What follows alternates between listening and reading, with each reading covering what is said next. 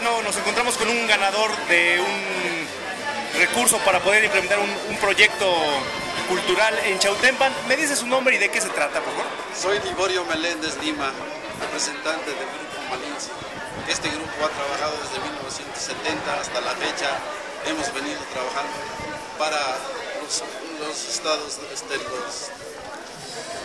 de Europa, los europeos.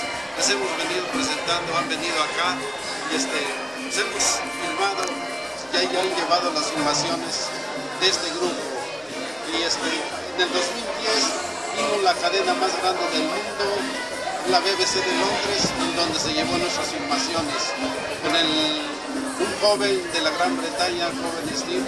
Y así venimos trabajando año con año, año con año, hasta la fecha que nos tocó este proyecto. Eh, ¿Cómo se llama el proyecto y en qué consiste?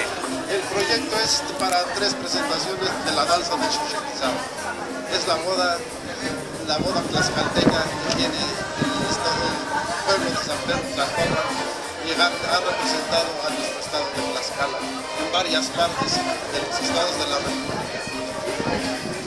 Desarrollar con estos recursos que lo, que Tres otorgaron?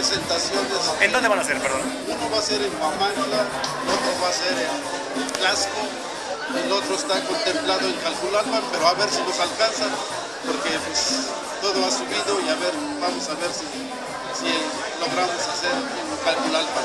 ¿Cuán- La, la agrupación de cuántas personas consta? Son 20 personas.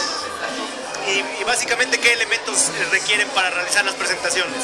Pues nosotros llevamos este, pues la boda tlaxcalteca, llevamos desde la pierna de cerdo, llevamos el guajolote, el toda la cruz adornada con flores, las palmas de carrizo, y donde nosotros hacemos la presentación, la obra de teatro también, donde se llevan las mujeres también la danza, llevan sus ollas, cazuelas, todo, todo lo que es una boda tradicional.